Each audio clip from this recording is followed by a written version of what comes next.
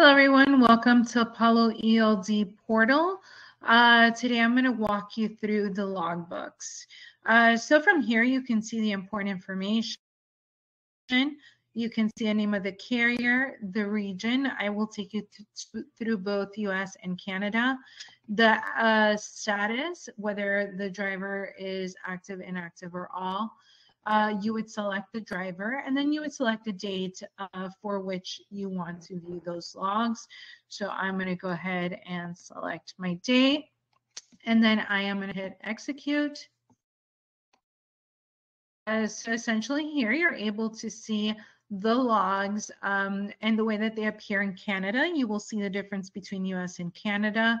Uh, first, for the Canadian logbooks, I, I want to show you all the information here that's uh, being recorded based on the mandate. Uh, it includes operating zone, cycle, total hours, uh, total hours in cycle, uh, remaining hours, uh, ELD certification, ELD identifier, ELD provider uh, any malfunctions, unidentified driving, data diagnostics. So you can see there's a, a bunch of information that's shared here for the driver. I'm going to go ahead and scroll down. These are the driver's logs. So from here, you're able to follow along and see the different statuses with the drivers. And now you can see that as I follow along the different events, the little pinpoints are lighting up. So if I select on a pinpoint, it is going to give specific information about this event. So it's going to give me the date, the time, the driver, the event, the assets, and the geolocation. From here, there's different action icons. Uh, so little pencil is to edit the event. Uh, the little trash bin is to delete. And this right here is to add any remarks.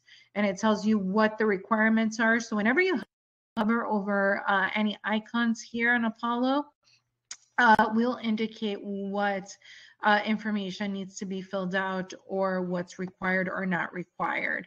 Uh, so from here, a fleet manager dispatcher is able to suggest log edits, and this is how it appears. So let's say, you know, the driver wasn't in the sleeper berth on this time. Uh, he accidentally switched or she accidentally switched to sleeper berth, but they should have been on duty. Uh, the date, the time of the suggestion. You can see everything that needs to be filled out here will show up with a red asterisk. Uh, once everything is filled out, the fleet manager dispatcher will click on save. Once that is saved, the um, the driver will receive a notification that log edits have been suggested to them. Uh, it is then up to the driver to assume or reject those log edits. Uh, and you'll be able to see that information on this tab here. So on log edit tab, you'll be able to get a breakdown of all the logs that were uh, requested, uh, and um, accepted. So you will have that full breakdown and I'll show you that as we move further further along on the portal. From here, you can see the change in driver duty status. So essentially the same graph you have here, uh, you get further breakdown of the events here. This is also a really nice graph because the driver sees the exact same graph on the driver application, which I will walk you through later. So from here, you have different information. So the time, the event, the location, uh, the distance, um, the hours elapsed, distance traveled, record status. Uh, so you can really follow along here.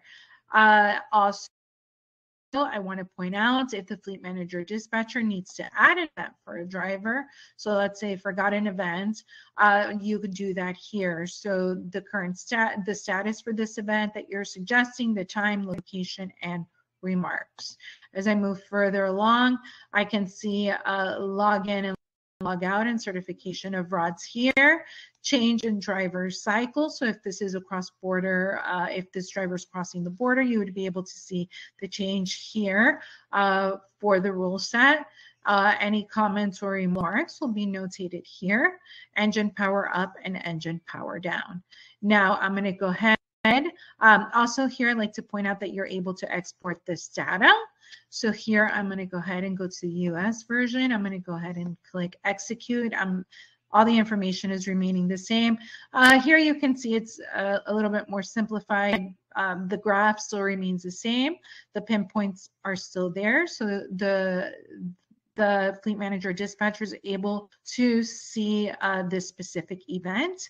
Uh, again, they can edit uh, the event, delete the event, or add any remarks to the event. I'm able to see also the rule set that the driver is working under, the, the home base, etc.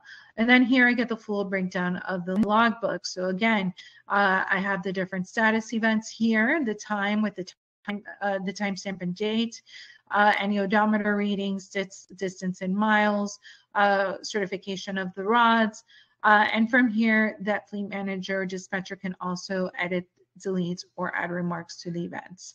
If they wish to add an event, uh, just like Canada, they would do so here.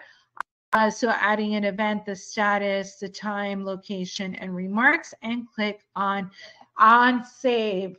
And then if I scroll further down, so this is the information that's provided essentially for the US version of the logs.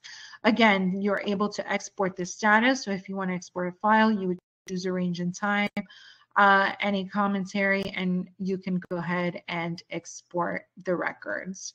Uh, so the, these are the logbooks. And again, if you make any suggestions to the logs, you would be able to see under log edits whether the driver accepted or rejected those log edits.